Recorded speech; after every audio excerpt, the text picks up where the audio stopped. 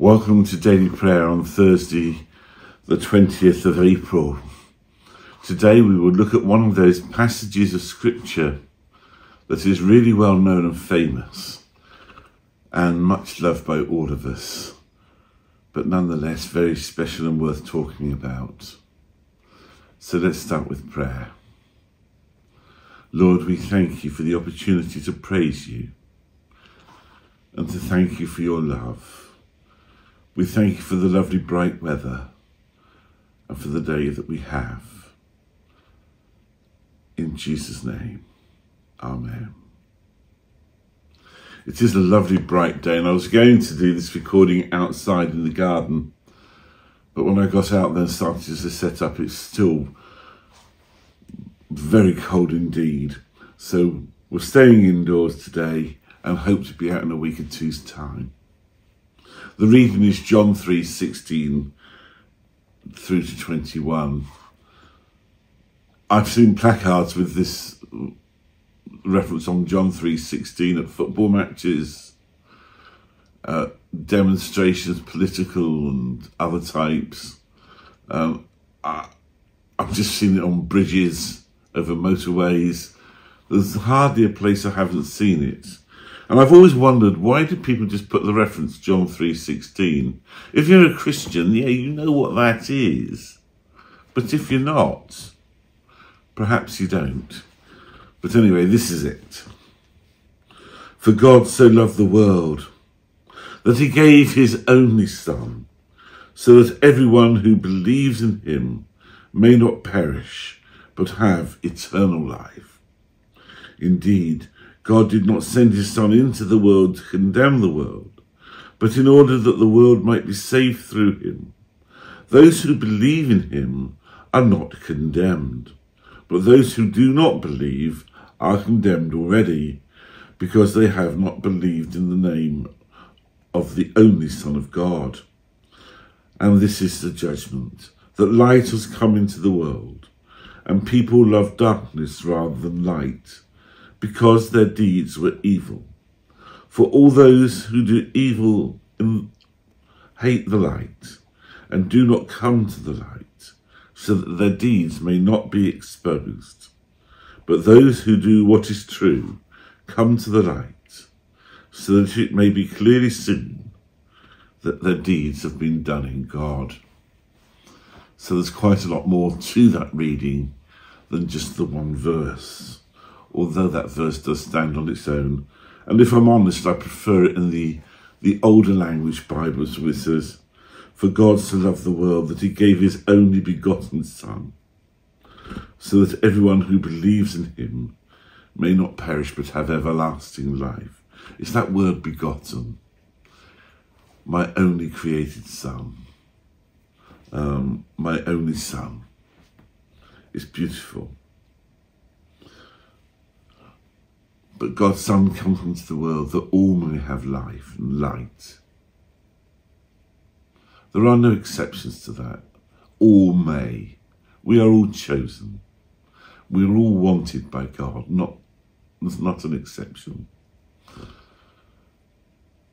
If you will, those that don't come to God, that don't accept him, are those that choose not to accept him. If you've studied Romans, you know that Paul talks about the fact that we have an innate knowledge of God. The whole of nature points to God. So we have this innate knowledge. And John is almost saying the same thing here, in that he's saying all have the capacity to know God. But the purpose of God sending Jesus into the world wasn't to make anybody feel bad. To the contrary, it was to bring all people to life in Christ, life in God. So there's nothing about judgment to make us feel bad during our lives here. And the judgment that, that actually happens is, did you accept the light or did you not? Were your deeds done in the shadows of the darkness or were they done in the light of Christ? And it talks about how people that are not Christian, that do not follow God, do their deeds in the darkness because they don't want their deeds to be seen by God And those that do their works in light, it's because they want to be seen by God and therefore their deeds can be loved by God. And isn't it difficult to think that this is our choice? It's not something that's out of our hands. You know, we talk about having choice as a good thing. I'm not always sure when I read passages like this. I like to think that those people that I love that are not Christian will become Christian whatever. And there's lots of people that make up theology that does that. But the simple truth is, it is a stark choice. For those of us that have heard of God and have heard of Jesus, it's a choice to follow him or not.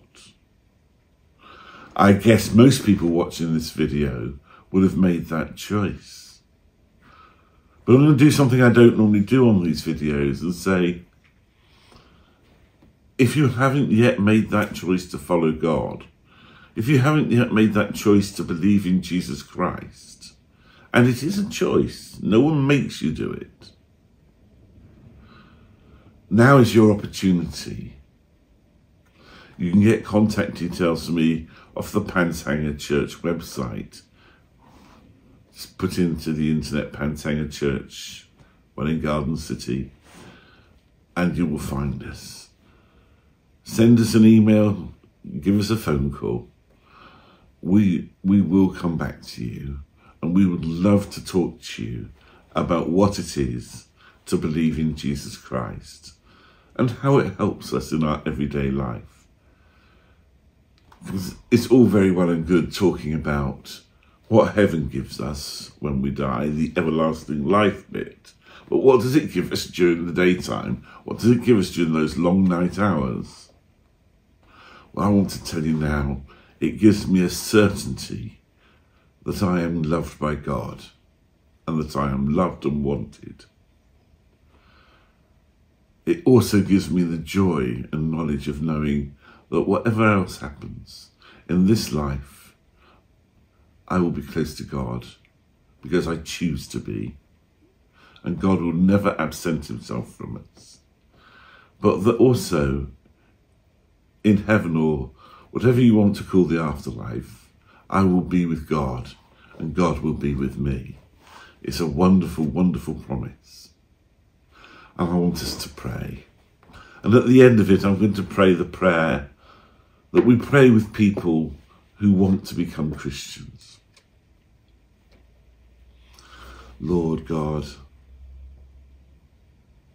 I thank you that you loved me so much that you loved the world, you loved humanity so much that you sent Jesus.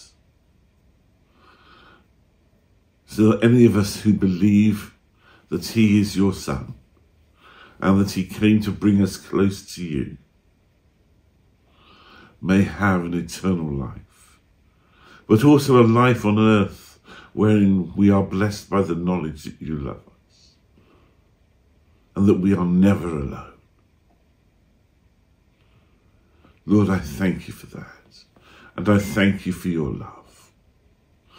And Lord, now I want to pray what my father used to call the sinner's prayer, but the prayer that brings us to you.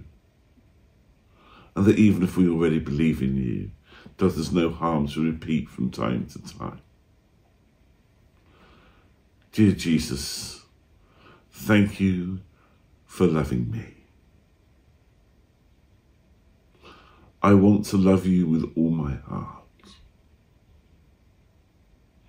Please come into me today so that I may love you and know your love and be loved by you forever.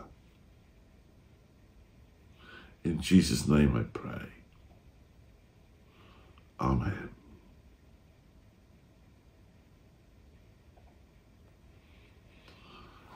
If this is the first time you've prayed that prayer, do contact us and talk to us because we'd love to have a conversation with you. Go your way and have a great week. And God bless you.